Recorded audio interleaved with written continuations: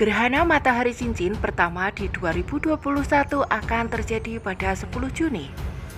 Gerhana matahari cincin akan dimulai pada pukul 13.42 waktu setempat dan peristiwa tersebut akan terlihat hingga 18.41 waktu setempat.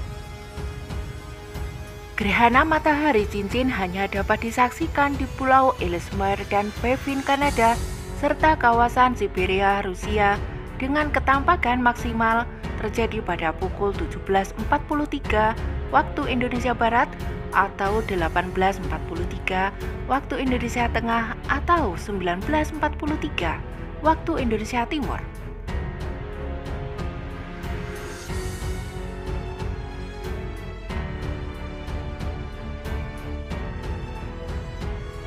Gerhana matahari cincin adalah saat bulan menutupi pusat matahari dan bulan akan meninggalkan bagian luar matahari dan membentuk cincin api.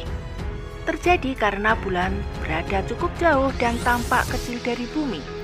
Dengan begitu, membuat satelit alami bumi menjadi tidak bisa menghalangi seluruh permukaan matahari.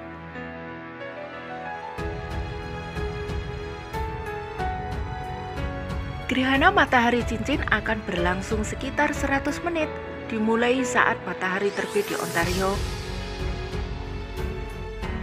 Dan orang Eropa dapat menyaksikan gerhana sebagian dari awal hingga akhir.